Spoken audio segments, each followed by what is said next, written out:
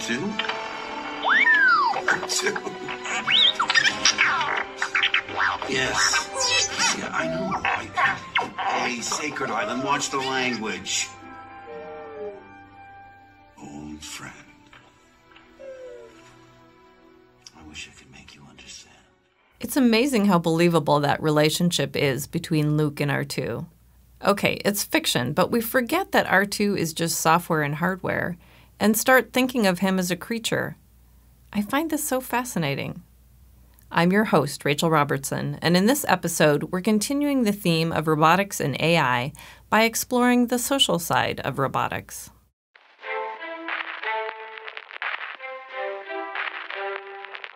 From the College of Engineering at Oregon State University, this is Engineering Out Loud. The interaction between robots and people are something Heather Knight finds fascinating too. She's an assistant professor of computer science here at Oregon State. In a research study, she found evidence that people anthropomorphize robots in real life. Maybe not to the same extent that we see in Star Wars, but still, it's like we're wired to do it. One of the most defining features of being human is sociability the way our entire society is structured is through these kinds of relationships and mutual respect. Otherwise, we would all have like our own little huts and never see each other. But this idea uh, that we have common roads, that we can even have multiple people living in the same building, even that we live in families, like from our infancy, we are always around other people and constantly moderating and communicating and structuring. And so basically, if robots can't do that, they can't be around us. That's Heather. A large part of her research program is designing socially intelligent behavior systems for robots. She and her team go by the name of the Charisma Robotics Lab. Charisma is such a great word. Not only does it apply to her work to make robots more charismatic, but, as I think you'll agree, it also applies to her. Here she is speaking on the Science Pub stage in Corvallis. So the field of robots is in transition. There was a lot of magic or not magic, depending on how you think about it, that has happened in terms of automation. And there are robots everywhere. They sort our mail. They go to planets that we can't yet reach. Uh, they help make uh, a decent amount of manufacturing, uh, less than you'd think. I think it's still like 60% human uh, in terms of production lines. But but the big shift today, even in manufacturing, is towards people working side by side with machines. So we have uh, collaborative robots, we have robot competitions, uh, lots of kids. Anyone ever do a robot competition? Yeah, know a relative or a friend. Yeah, like I think Corvallis is sort of taken over. Yeah, high five. But yeah, so there's a lot of amazing uh, robotic applications, and some of them are purely functional. Um, this is Tug. Uh, Tug delivers linens and uh, medical samples in hospitals. Uh, this is a. Uh, Heather goes on to show other examples of collaborative robots. But I found the tug robot to be pretty compelling because it's easy to imagine the usefulness of a robot that can do some of the mundane delivery tasks in a hospital that would free up time for a hospital worker to do more important work. These are real robots that are currently in use. In fact, the company's website claims that 450 of them are installed in hospitals. But Heather points out there could be some barriers to widespread use. So, the challenge in making this transition from robots that are behind a wall um, that we can't see to robots in our everyday life is that these robots need to know how to behave, right? Um, in the same way that we teach toddlers not to like do incredibly rude things, we don't want that tug robot that's delivering medical samples to block the surgeon from getting to his or her patient, right? So that's that's logistical, but then there's also just a lot of rules of the road of how we socialize and interact with each each other. And we don't want these robots to be frustrating, and we don't want these robots to be rude, right? Because if we don't trust them, we can't collaborate with them, and we won't buy them. Heather's area of research is called social robotics. She was introduced to this area when she was an undergraduate at MIT, where she worked with Cynthia Breazeal, an associate professor of media arts and sciences, who is considered to be the pioneer of social robotics. Heather went on to get her master's degree at MIT and another master's and doctorate at Carnegie Mellon.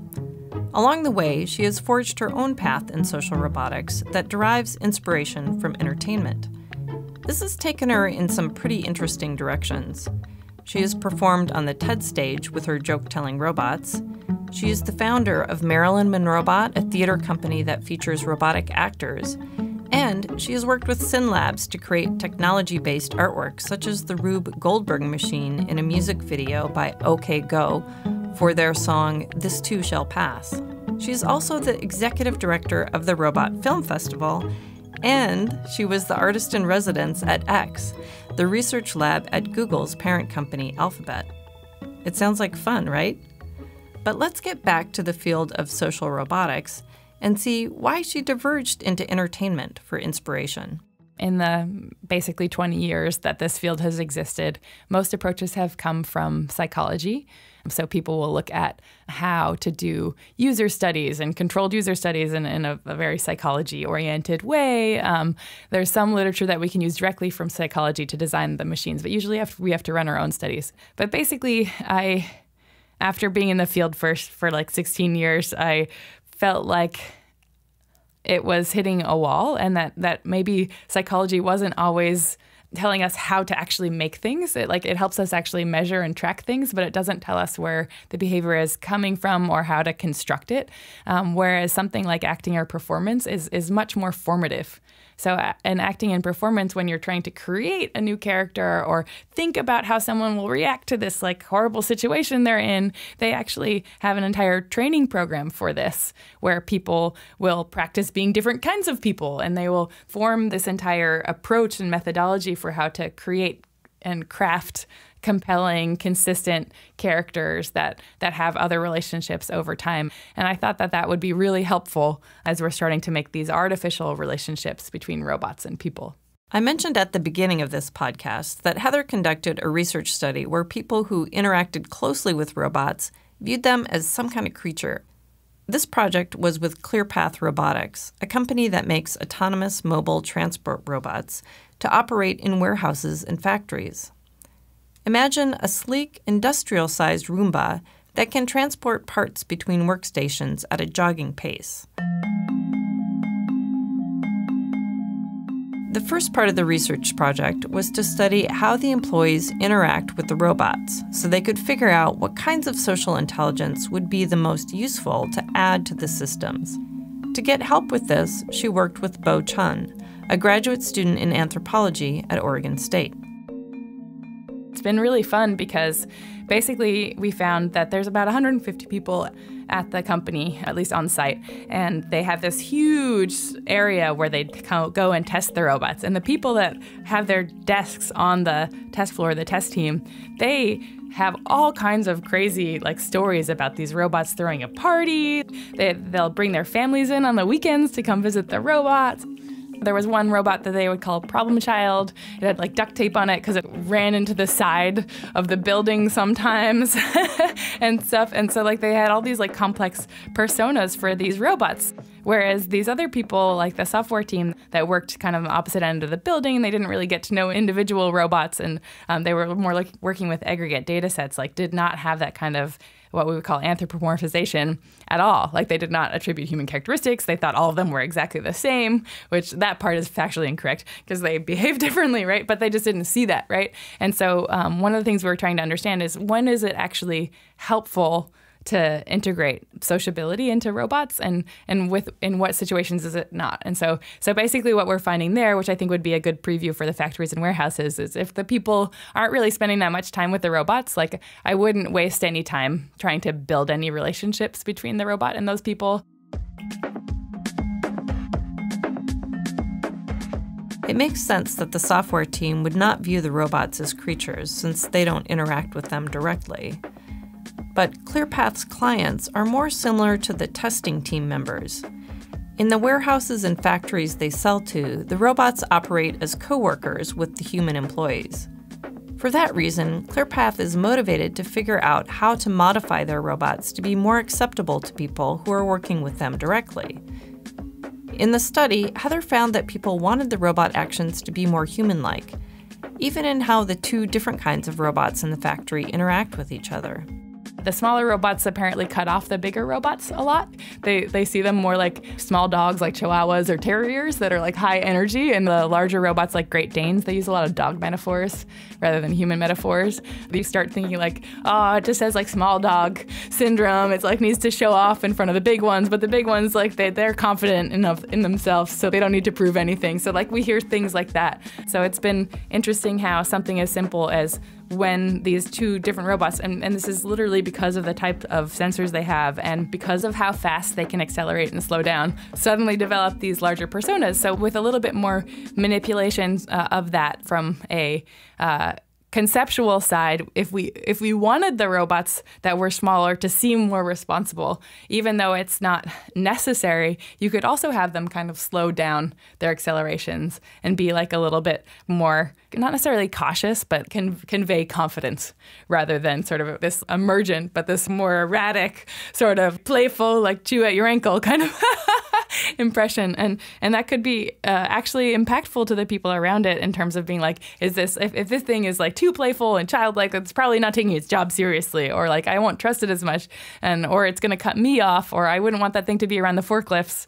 So it's it's sort of interesting. On the other hand, if the Great Dane is too chill, right, you're just like, I don't know if it really cares about this job enough, and so it, it could actually be a little bit helpful for it to kind of express, like for example, especially if the factory line's running behind because they have very explicit targets that you can track. It would be neat for their their motion style to change to convey that they are also trying to trying to meet things, and some of that will happen automatically, um, just because as you try to do things, like expression comes from the often comes from the exaggerated versions of the functional thing. But yeah, you could also uh, make it more explicit. Expressive motion is something that Heather has studied in the past as well. When she was a graduate student at Carnegie Mellon, there was an autonomous mobile robot they would dress up for Halloween to do reverse trick or treating delivering candy to people's offices. And so I decided one year to make that a research experiment. And basically, I had the robots vary their motion style. They would vary how quickly they were moving and also how they would orient towards people when they got to the office. And it turns out that if you have candy, the orientation doesn't matter that much. People like. like the candy all the time. But that velocity feature, like how quickly it was moving, had a massive impact on whether people would take candy from the robot. So basically, when the robot was moving down the hallway quickly, people thought it was trying to get somewhere. And so they would be much less likely to interrupt the robot in the hallway um, than they would be if it were moving slowly, where it just kind of looks like it's, oh, I'm here, I got some candy. Who wants candy? Happy Halloween. Like, it's not saying those things, but it felt like it was saying those things when people watched it moving. In fact, people were more than twice as likely to take candy from a slow moving robot as they were from a fast moving robot. Motion is, is really important, and even something as simple as changing the robot's speed can massively impact how people will choose to interact with it, or even how people will choose to navigate around it. We've only scratched the surface of Heather's research. There are chair robots, jellyfish robots, robot comedians, if you want to learn more, you can check out the bonus content at engineeringoutloud.oregonstate.edu. But for now, I'll let her sum up broadly what her research is about.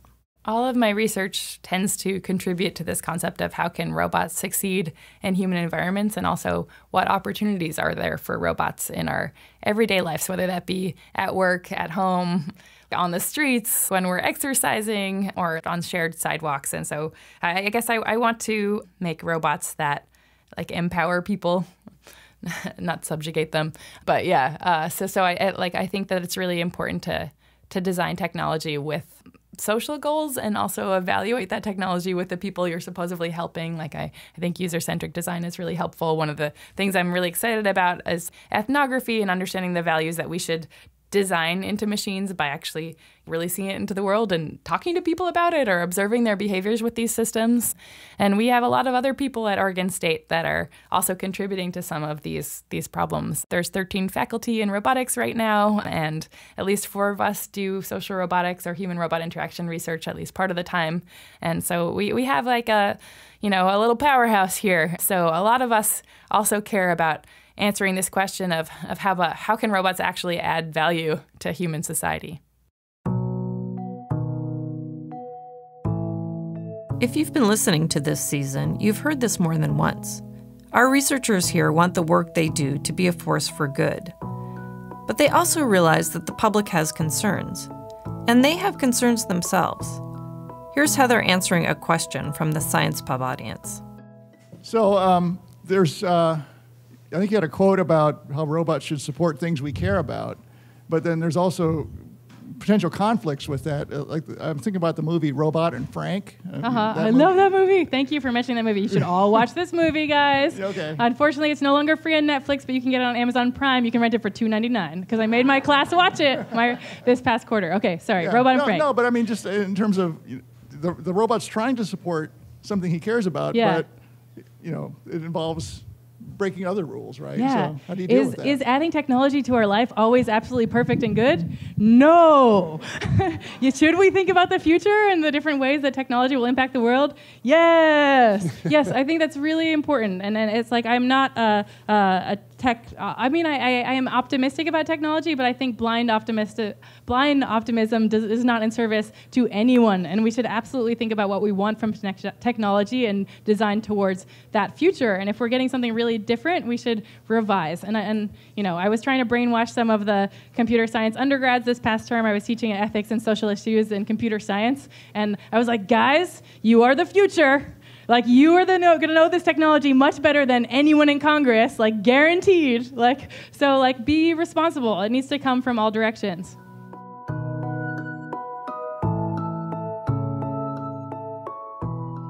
This episode was produced by me, Rachel Robertson. Audio editing by Molly Eaton. Our intro music is The Ether Bunny by Eyes Closed Audio on SoundCloud and used with permission of a Creative Commons Attribution license. Other music and effects in this episode were also used with appropriate licenses. You can find the links on our website. For more episodes, visit engineeringoutloud.oregonstate.edu or subscribe by searching Engineering Out Loud on your favorite podcast app. Here's Jon the Robot to take us out. This clip is from the show Singularity, a robot comedy variety show organized by Naomi Fitter, assistant professor of robotics. Keep your eye out for upcoming shows at the Majestic Theater in Corvallis. I auditioned for the role of C3PO. They said I wasn't tall enough. I auditioned for the role of Rosie in the Jetsons reboot. They said I wasn't thick enough. I auditioned for the role of WALL-E. They said I was too put together. These beauty standards are impossible. I'm thinking of getting plastic surgery. You know, where they epoxy more plastic to my exoskeleton. You see, because I am a robot, I am made of plastic. So any modification to my exterior is plastic surgery.